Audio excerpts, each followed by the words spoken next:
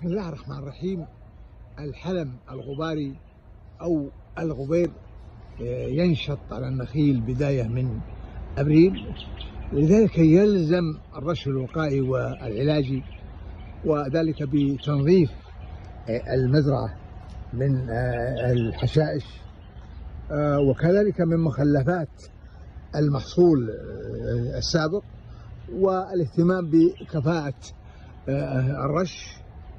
مع تحديد ميعاد الرش ووقته وتكرار آه، الرش حسب الظروف آه، الجوية مع اختيار المبيد آه، المناسب أكروسي متخصصة وذلك للحد من الإصابة في الغبير أو الحلم الغباري أو ما يسمى بالأكروس